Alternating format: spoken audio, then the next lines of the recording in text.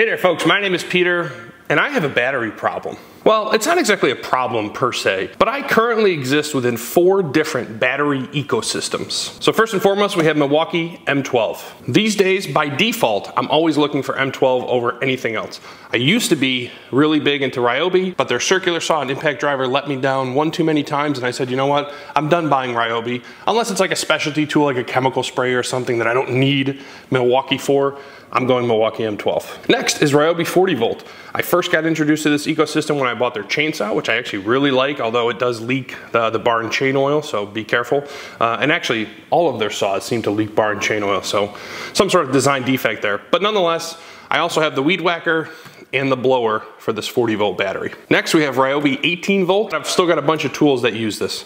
Different pin nailers, brad nailers, caulk gun, chemical sprayer. So I have to keep them around. Finally, we have Milwaukee M18. So if the tool that I'm looking for doesn't come in an M12 or I need the M18 power, like for example, the circular saw was the first M18 tool that I ever bought. But what is the point of today's video? The point of today's video is when I moved into this new home, I never took the time to organize all of my batteries and chargers such that they were easy to access. I just stuffed everything into a cabinet, which did have an outlet in there, so I was able to charge stuff, but it's not well organized. It takes two hands to get the batteries on and off because they're not uh, adhered to the cabinet itself, uh, and I'm just kind of over it. I'm, I'm ready to make that change today. So I've got this piece of three quarter inch sanded plywood. It's actually a scrap piece, but it's gonna work perfectly for what we're trying to accomplish because it fits in the box very nicely. But before I can actually explain how we're gonna make use of this and start to work on it, you know, I always appreciate shop furniture projects more when I finish them.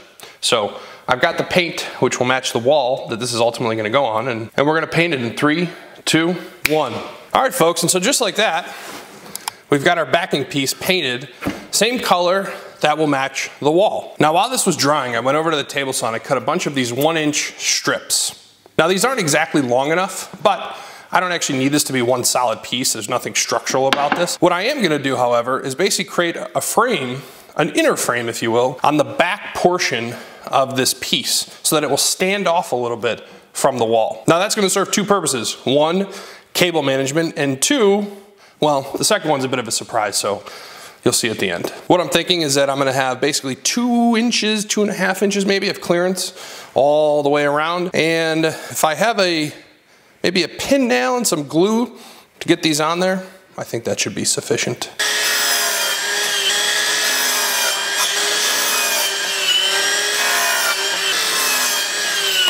This one here, one goes there, perfect.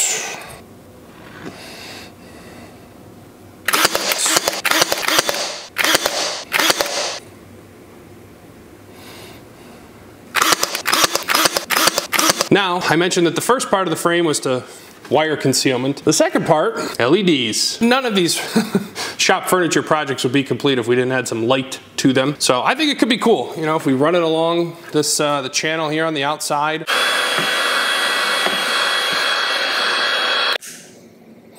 Success. So we're gonna mount our switch for the LEDs. This is actually very similar to what we did for the NASCAR diecast display stand project. But I'm thinking like maybe a clip there, we'll do some Velcro on the bottom of this, and then this cable management, we're gonna sort of just hand wave for the moment because at the end we're gonna have a lot of cables back here and I don't know if I wanna do it permanently like with these clips or what, but we'll see.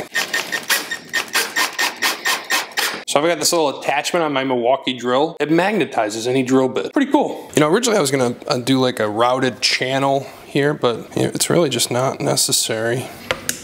Whoa! Obviously you can't get the effect because there's no wall behind us here, but just imagine that if this is mounted on the wall, it's gonna light up the whole thing, and I think it'll look pretty cool. So this thing is gonna sit four inches away from our outlet, and then our stud location is eight and five eighths away from our outlet. So we are going to drill pilot hole at four and five eighths.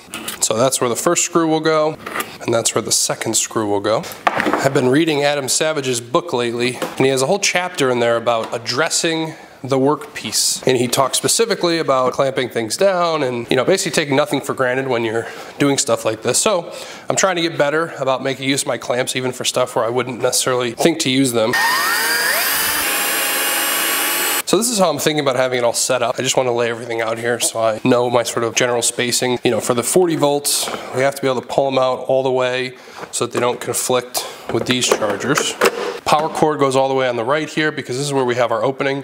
So all the cords will feed out, all the cords will be behind the board and then they'll plug in here. And then we've got this McGaffer. This is actually a 3D printed Ryobi battery holder. So we'll mount this down at the end and then you can't really see it, but we've got a little bit of room for expansion right here. I think that the Milwaukee, it's okay, right? This is gonna pull out this way. I wish I had another M18 charger, but I don't. And then these Ryobis come straight up. So there may very well be multiple ways of doing this, but the way that I've always done, put a piece of painter's tape over our mounting holes, then we're gonna mark a circle where we're gonna put the screw, there. And then I've measured the distance that this hole is from either side as well as from the bottom, which is right here on our board. So now, if we put that dot over our mark, okay, now we'll throw our screws in.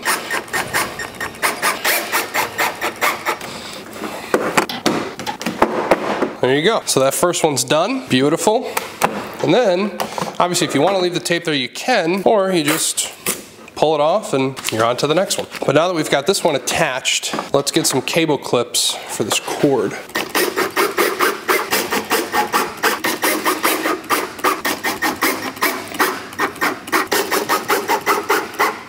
Let's repeat this process. I'm gonna do the Ryobi ones next, because this one I already practiced cutting the cord and soldering it a little bit. So I wanna do these ones, do a test, make sure everything works, and then we'll move on to the bigger ones. And now instead of using the tape again,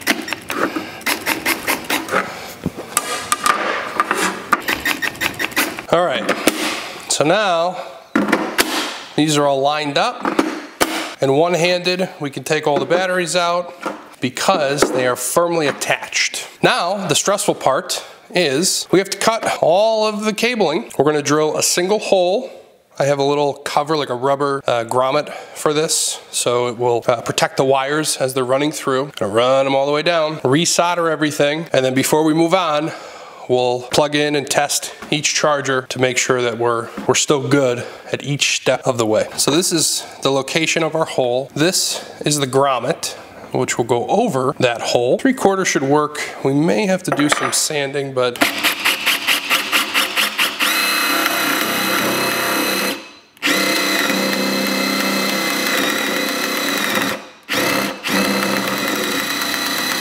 Well, good thing we got that right on the first try in terms of our sizing because the last time I used a spade bit and I got the sizing wrong, trying to enlarge that hole was a big pain in the butt. Now, I've already cut off one of our wires, so let's see if we can stick it down in there. Let's cut the rest of these. I'm using my Snap-on flush cuts I find that, especially for the stranded wire, it seems to work pretty well.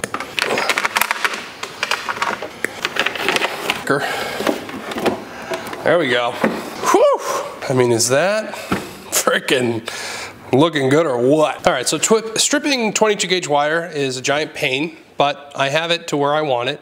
And I've opted not to solder these myself, but rather I'm using these solder connectors. So it's basically a piece of heat shrink with a little piece of solder uh, in the middle. And if you twist the wires ahead of time, which I'm struggling a little bit with this red wire, there we go. Then you run the solder over the wires. The same for the black wire. So that should be good. And then once we get those soldered, I've got this other piece of heat shrink that I'm gonna run over that. So with any luck, this should just work. So I've mentioned this in the past. Uh, the first Snap-on tool that I ever bought actually gets quite hot.